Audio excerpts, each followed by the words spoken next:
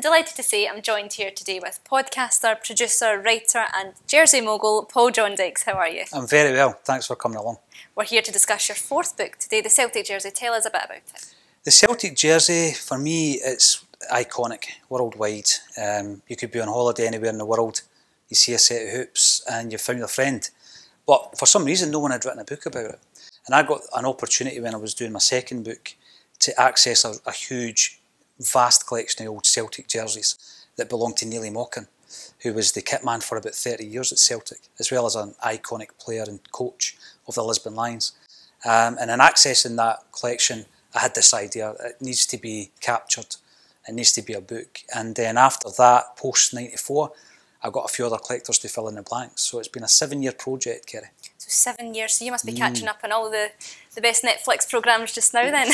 Absolutely, that's, that's what I was just saying. I, am I'm, I'm now catching up on PLZ, obviously. Yes, of course. Uh, I didn't have a chance to watch anything or do anything at night. Right. There was a few all-nighters pulled to mm -hmm. make it uh, happen and it's great to now see it. So it's right up to date, so it's right up to this season and obviously um, maybe in five, ten years they'll want another edition. There you go. Will you say yes or no to that? It depends on my sleep pattern at yeah, that stage. Exactly. If I can uh, pull all nighters. But the thing is, you forget about all that once you get the book in your hand exactly. and you, you, start looking through it. And it's been brought together really well by the publishers. It's, mm -hmm. a, it's a really uh, beautiful book to go through.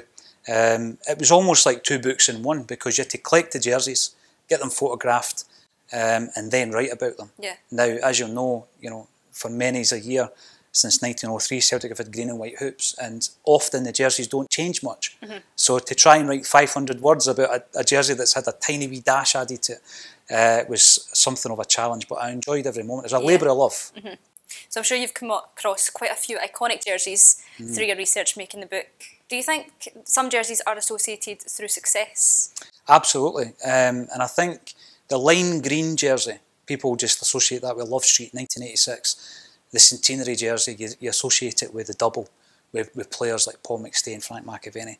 And then the season that resulted in us not winning the 10 in a row, uh, the jerseys were beautiful, but we don't look back on them with any fondness. uh, all three jerseys were brilliant, beautiful designs. But as I say, you can't really enjoy them because we lost the league that season. Yeah, you kind of mentioned it there. Have you found any jerseys that are just more popular through the player that wore them?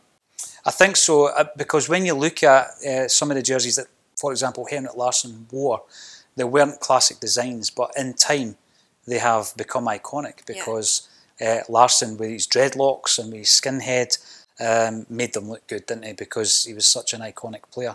And I think that the 90s have got a lot to answer for. Yeah. Uh, not only were Celtic pretty poor, but the jerseys were crazy designs from Umbro. Um, but again, in time, they've become cult classics. So it's an interesting um, story from start to finish. The away jerseys often more interesting than the home, but those green and white hoops, you think to yourself, you know, you, you can't tarnish them.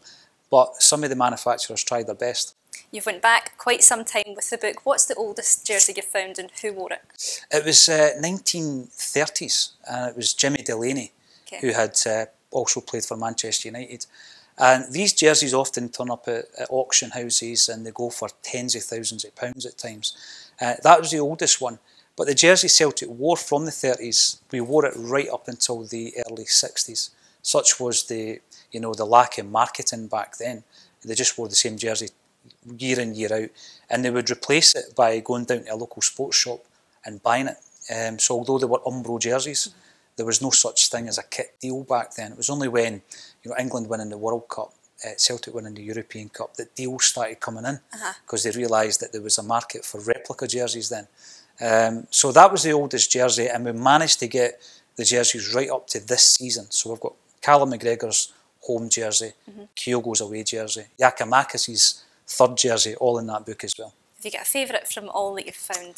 I do. There's a few that I'm really fond of. Um, you know, the Bumblebee kit, the original Bumblebee, people look back fondly on that. Strangely enough, we never won anything wearing it.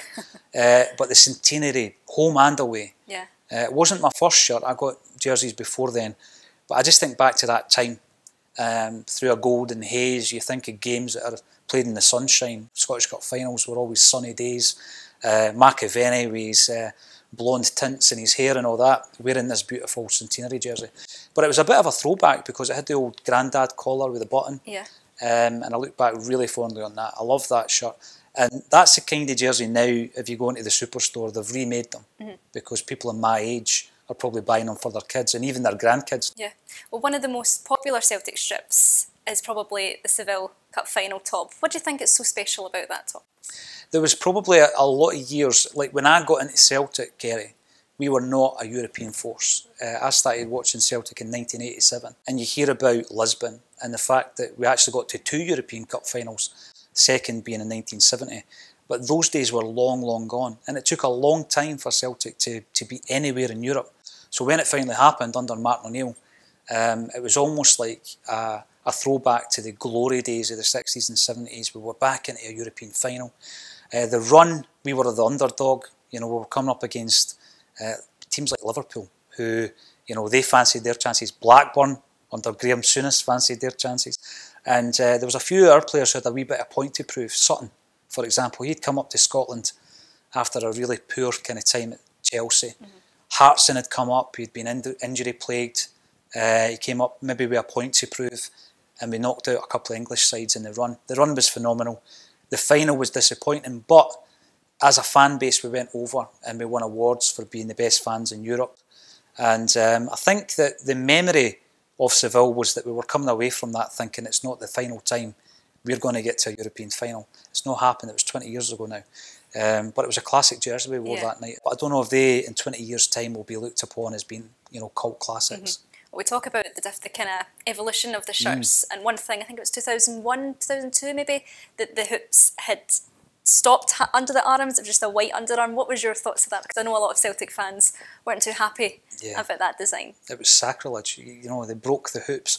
And doing the, the research, there were certain points in history where things were added and fans reacted. So the first thing that came along was the Umbro logo. Mm-hmm. So when that was added, the fans weren't that fussed about it, to be fair. But the reason they did it was that that was the time when Umbro realised we could make money from selling replicas. So we need to put our logo on the hoops. And um, because at that time anybody could have sold a green and white hoop jersey, mm-hmm. and Celtic fans would have bought it. And Admiral did that. Uh, so Umbro stuck their logo on. There was a bit of an outrage when we put our uh, badge on, the club crest, which sounds bizarre now, but that was uh, desecrating the hoops.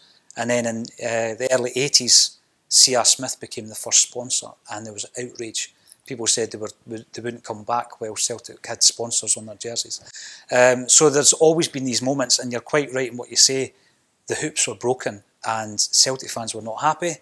But we were playing under Martin O'Neill, and we were winning leagues, and it was quickly forgotten. And actually, when you look back, it was a it was a really nice design.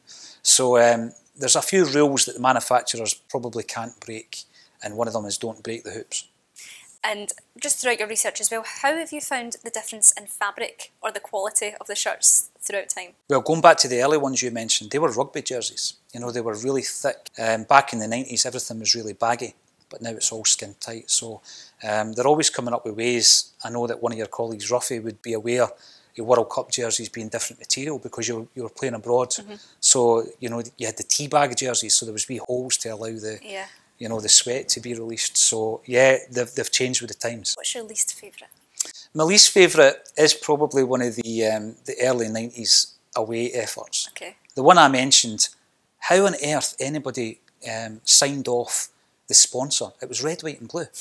And if you could imagine that now in the modern day, and obviously I had to find out who signed it off, and it's in the book, so you know who to blame. There you go. Um, but anything on a Celtic jersey with red, white, and blue I'm sorry, I, I can't celebrate it. And uh, do you think people's favourite strips are associated with the generation that they grew up watching?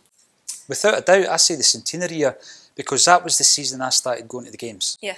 So you look back um, through that golden haze, as I say, and you reminisce and you love it. And if you were to maybe put it aside this one or maybe this season's one, it's maybe not as smart but you, have just got those memories and the players that played Tommy Burns, Roy Aitken, Paul McStay, um, and I think that your own memories and you know reminiscing about your memories as a Celtic fan, um, you'll have these associations with certain jerseys. Now, every season there's three new new tops. Mm-hmm. Are they as sacred? I don't know. I, I really don't.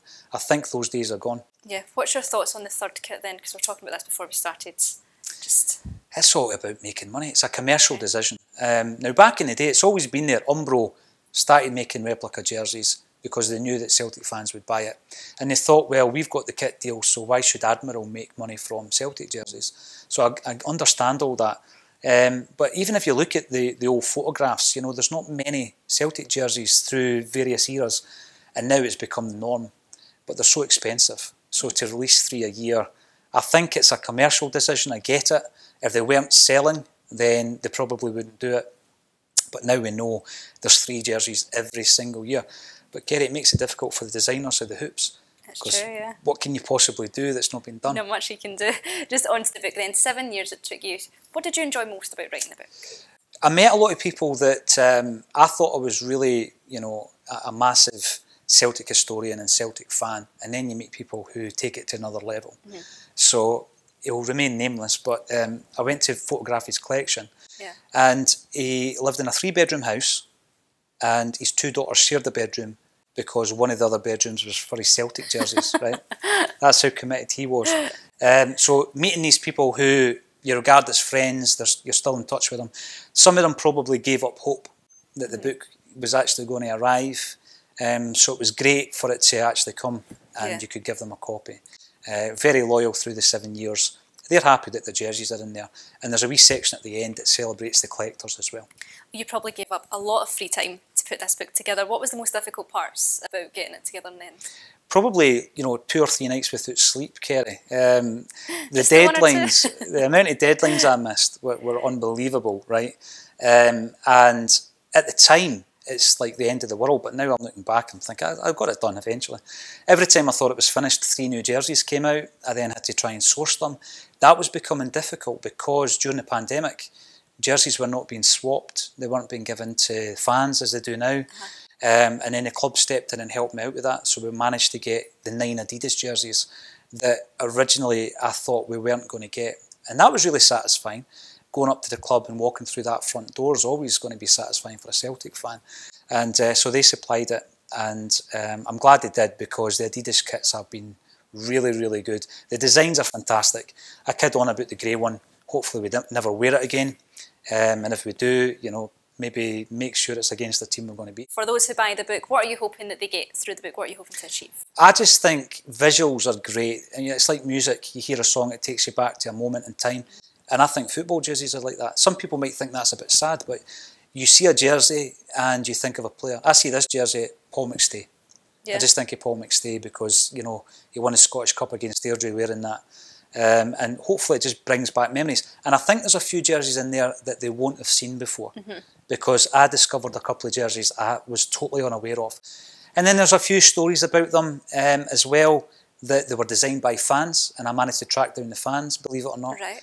Um, and they get a mention in the book as well. So they'll, they'll find out something new, but hopefully some great memories.